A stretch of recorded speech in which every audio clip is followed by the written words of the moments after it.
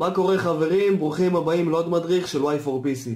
לפני שנתחיל את המדריך, אני רוצה להגיד תודה לחברת פיקוק מחשבים ואדימקס שנתנו לנו לסקר את המתאם רשת החשמלי הזה. אה, אני אעשה לו אנבוקסינג, אני אפתח, יראה לכם מה יש בקופסה ואני אסביר לכם גם איך משתמשים בו.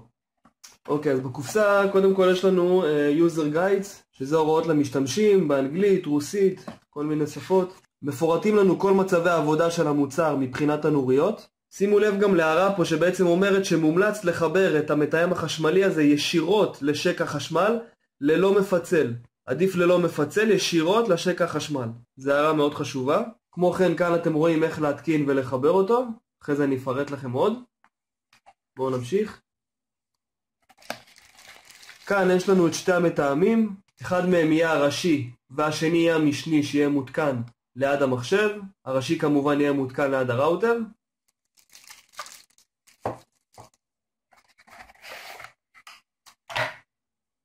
בקופסה גם קיבלנו שתי כבלי רשת. עם הכבל הראשון נחבר את המתאם הראשון לראוטר שלנו, ועם הכבל השני נחבר את המתאם השני למחשב. וכמובן יש לנו כאן דיסק שיסביר לנו כיצד להתקין, עם הוראות. זה לא דיסק driver, לא צריך driver למכשירים. אוקיי, אז ראשית כל נראה לכם שרטוט איך לחבר את המתאם הראשון.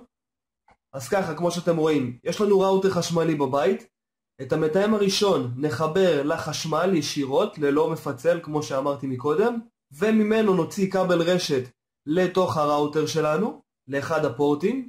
את המתאם רשת חשמלי השני נחבר לשק החשמלי שנמצא ליד המחשב הנייח או הנייד שלנו, או אפילו למדפסת, ונקשר ביניהם עם כבל רשת. כך תהיה לנו רשת אינטרנט בבית שעובדת על גבי החשמל. שימו לב, כל מחשב נוסף שתרצו לחבר תצטרכו לקנות עוד מתאם נוסף, ולחבר אותו למחשב.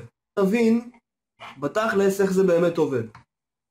יש לנו מודם ראוטר בבית, ובו יש ארבע פורטים של חיבורי רשת. כמובן שלכאן נחבר את הקו טלפון של הבית כדי לקבל אינטרנט, ולכאן נחבר כבל רשת, קיבלנו את זה באריזה, כבל רשת, מפה למתאם הראשי שיהיה ליד הראוטר, לכאן.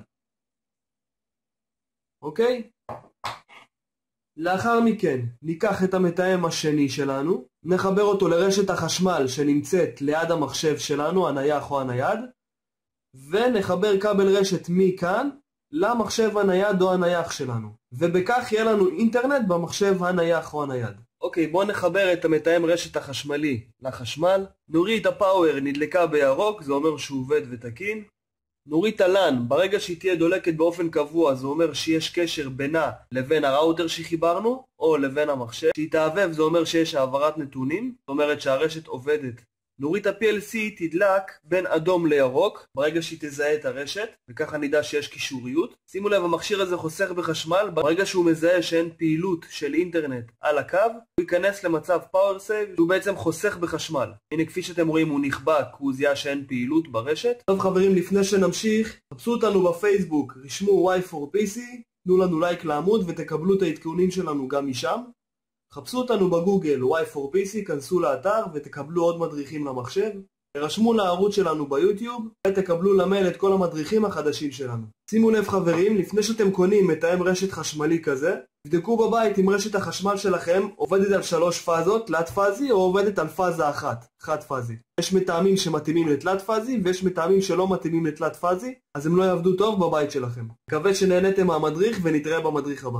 הצטרפו אלינו לרשימת הנמענים, תקבלו מדי שבוע תוכנות, עדכונים, אנחנו נותנים גם תמיכה טכנית למשתדלים לענות לכולם. הכניסו כאן את המייל שלכם.